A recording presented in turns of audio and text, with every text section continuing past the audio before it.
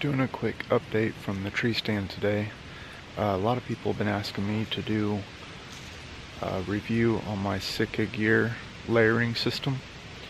Uh, so this is just one example, but kind of what I went with today. Um, currently it's 52 degrees with 15 mile per hour wind.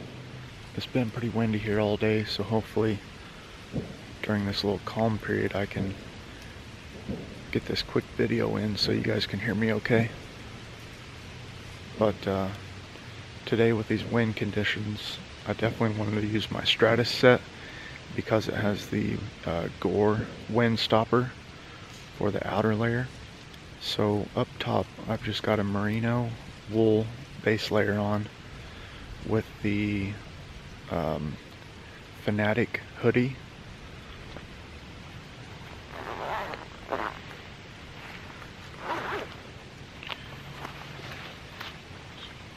you can see here just have the Fanatic hoodie on top of a merino wool base layer.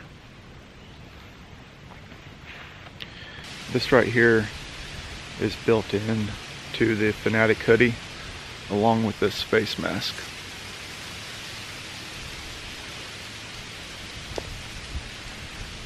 So that right there is all built into the Fanatic hoodie so you don't have to carry a separate face mask.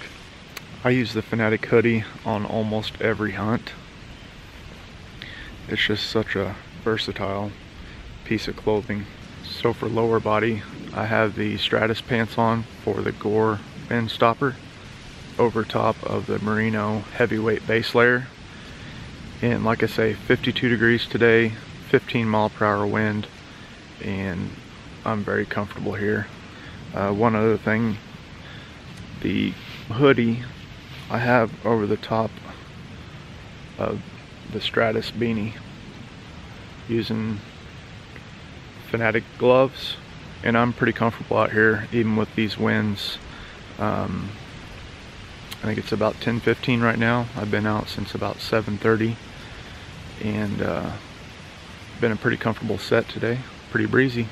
So using the Sitka Stratus layer on the uh, outside merino heavyweight base layer and then up top just a merino base layer with the uh, Fanatic hoodie in between the merino base layer and the Stratus jacket.